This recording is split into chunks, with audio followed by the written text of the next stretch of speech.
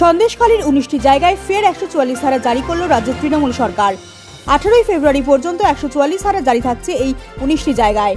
মঙ্গলবার কলকাতা হাইকোর্টের বিচারপতি জয় সেনগুপ্ত আদালতে সন্দেশখালী মামলায় শুনানির সময় প্রশ্ন করেছিলেন, কেন গোটা সন্দেশখালী জুড়ে একশো চুয়াল্লিশ ধারা জারি করা হলো? তবে মঙ্গলবার এই প্রশ্নে কলকাতা হাইকোর্টের বিচারপতিকে যথাযথ তথ্য দিতে পারেনি রাজ্য। এরপরই সন্দেশখালীতে জারি হওয়া একশো চুয়াল্লিশ ধারা বাতিল করার নির্দেশ দেন কলকাতা হাইকোর্টের বিচারপতি যশ সেনগুপ্ত।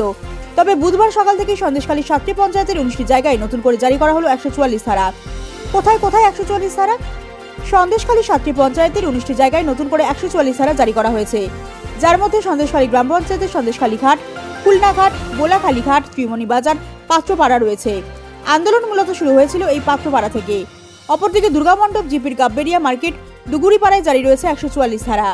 এর মধ্যে দাউদপুর আবার বিজেপির শক্ত ঘাঁটি। সেখানেও ছড়িয়ে পড়তে পারে বিক্ষোভের আগুন। সেই কারণে একশো চুয়াল্লিশ ধারা জারি করা হয়েছে সেখানে। এছাড়াও ধামাখালী ঘাট, হালদারপাড়া, পিঁপড়েখালী ঘাট সহ আরও একাধিক জায়গায় নতুন করে জারি হলো একশো চুয়াল্লিশ ধারা অর্থাৎ সন্দেশখালীর দু নম্বর ব্লকের মোট উনিশ জায়গায় নতুন করে জারি হলো একশো চুয়াল্লিশ ধারা যে কোনো ধরনের জমায়েত এড়ানোর জন্য নয়া কৌশল নেওয়া হয়েছে পুলিশের তরফে বলেই অনুমান। যদিও বিরোধীদের দাবি, সন্দেশখালীর আসল ঘটনা যাতে বাইরে না যায়, বিরোধীরা যাতে সেখানে গিয়ে মানুষের সঙ্গে কথা বলতে না পারেন, সেই কারণেই বেছে বেছে কয়েকটি জায়গায় একশো চুয়াল্লিশ ধারা জারি করা হয়েছে এবার।